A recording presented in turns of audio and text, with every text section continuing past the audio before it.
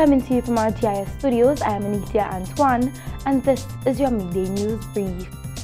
St. Lucia has significantly boosted its media presence following participation in the just concluded Caribbean Tourism Organization CTO Media Day and Press Conference in Toronto, Canada. Representatives from more than a dozen Caribbean destinations were on hand to dialogue with travel media at the August 22, 2019 activity.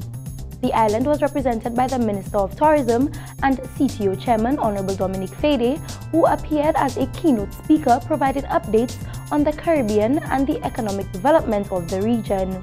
Minister Fedee told his audience that 1.4 million Canadians had visited the Caribbean in the first quarter of 2019, with overall arrivals rising 12% to 9.1 million.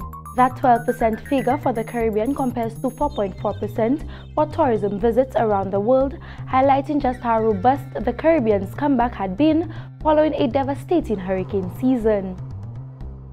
A new cohort of Peace Corps volunteers have officially been sworn in. The 11 volunteers will help fulfill the overarching goal of the Peace Corps Caribbean, achieving world peace and friendship.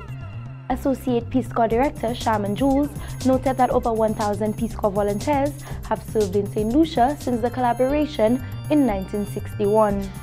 The trainees resided with host families in the community of Babonneau while they underwent training and began settling into St. Lucian culture.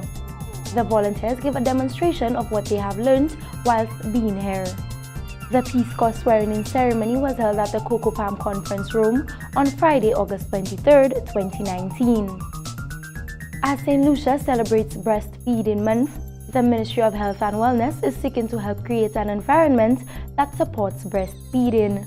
Ministry of Health officials says that whilst they continue to play their part in promoting breastfeeding, studies show that St. Lucia's rates of breastfeeding remain low. The theme for this year's observance is Empower Mothers, Enable Breastfeeding. Public Health Nursing Supervisor Persia Judah says it's not just breastfeeding, but breastfeeding exclusively, which means only breast milk for the first six months. This has been your Midday News Brief. Thank you for watching.